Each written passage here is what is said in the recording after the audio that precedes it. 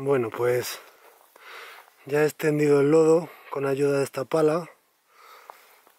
Esto es un poco chapucero, pero vamos a ver si algún animal deja impresa aquí su huella. Ya mañana vengo y, lo veo. Esta noche alguno vendrá a beber.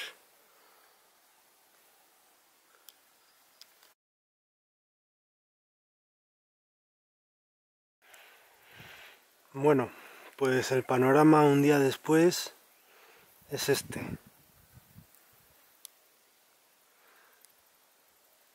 Está todo pisoteado, han tenido que venir un montón de bichos, pero distinguir las huellas ya es más complicado.